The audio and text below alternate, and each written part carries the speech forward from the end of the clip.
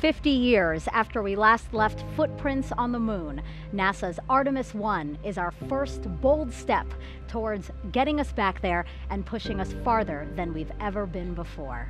You are looking at the world's most powerful rocket and Orion spacecraft live on Launch Pad 39B.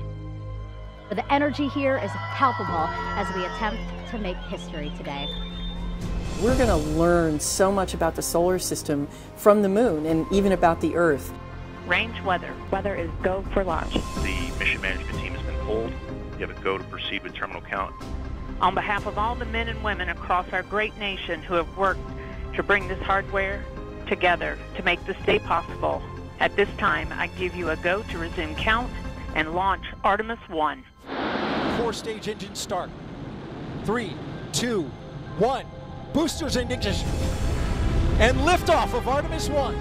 We rise together back to the moon and beyond.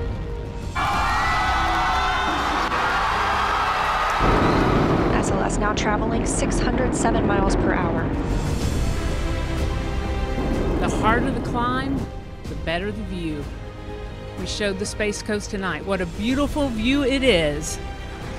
The first step in returning our country to the moon and on to Mars.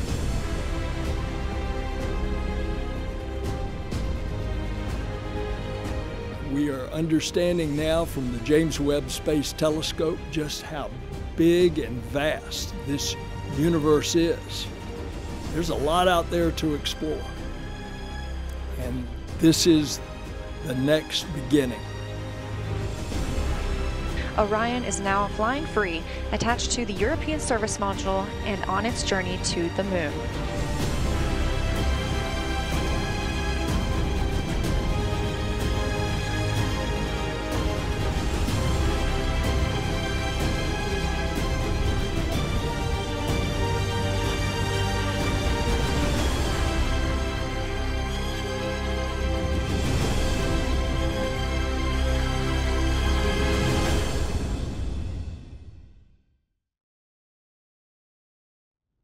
Liftoff of Artemis 1.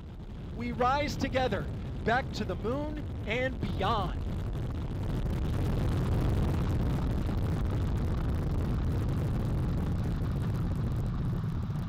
All four RS-25 engines on the core stage and two solid rocket boosters now